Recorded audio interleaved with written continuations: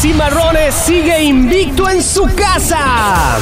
El partido inició con un gol del equipo visitante al minuto 20 por parte de Miguel Ángel Norman. Así terminó el primer tiempo con la anticipada y sorpresiva derrota de Cimarrones, quienes entraron con todo a la cancha en el segundo tiempo consiguiendo su empate en el minuto 48 a partir de un penal provocado por los Coras de Tepic. Fue Fernando Martínez quien cobró la pena logrando el empate del partido que desde ese momento se convirtió a favor de Cimarrones, logrando su segundo tanto a favor de Brian Montaño en un error del portero Cora que permitió el segundo gol que colocaba a Cimarrones en una posición más cómoda ante Tepic. El tercero vino de un tiro libre directo que venció a la barrera logrando el tercer ingreso del balón en portería visitante. Así terminó el partido 3 por 1 colocando a Cimarrones de Sonora en el primer lugar de su grupo pendiente del siguiente partido contra Tecos. Vamos a esperar más resultados y sigamos apoyando a Cimarrones en su camino al ascenso.